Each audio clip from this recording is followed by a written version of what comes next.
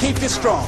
You will never ever be successful until you turn your pain into greatness, until you allow your pain to push you from where you are to push you to where you need to be. Stop running from your pain and embrace your pain.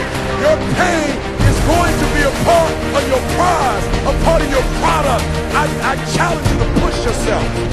See, it's easy to be on the bottom. It doesn't take any effort to be a loser. Doesn't take any motivation, any drive in order to stay down there on a low level. But it calls on everything in you. You have to harness your will to say, I'm going to challenge myself. See, it's easy to be on the bottom. It doesn't take any effort to be a loser. It doesn't take any motivation, any drive in order to stay down there on a low level. But it calls on everything in you. You have to harness your will to say, I'm going to challenge myself. I mean that what you did last week don't count.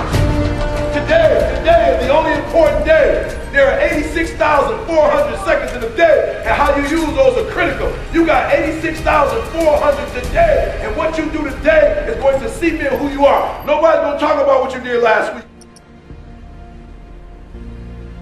You have this opportunity of a lifetime. It means absolutely nothing if you don't take advantage of it in the lifetime of this opportunity. I got a saying that when life knocks you down, try and land on your back because if you can look up, you can get up.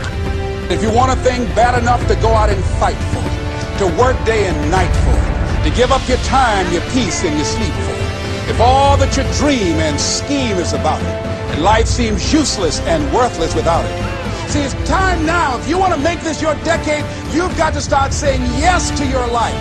You've got to start saying yes to your dreams, yes to your unfolding future, yes to your potential, as opposed to saying no. When you die, die on E. Leave no dream left behind, guys. Leave no opportunity left behind. When you leave this earth, accomplish every single thing you can accomplish. Listen to me, you're going to be here one day, but you'll never get here if you give up, if you give in, if you quit. And finally, guys, you got to want to succeed as bad as you want to breathe. Fucking A.